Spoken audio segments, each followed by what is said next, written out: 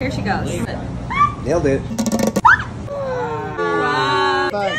This magical Earl Grey flan was one of the best desserts I've tasted. To make it, Andrea here made a caramel out of melted sugar, separately combined sweetened condensed milk with eggs and cream. Then we infused milk with a bunch of Earl Grey tea, mixed and strained the custard into the prepared pan, and baked it on low until we had a perfect, gorgeous flan. It was mostly her, but we truly nailed this.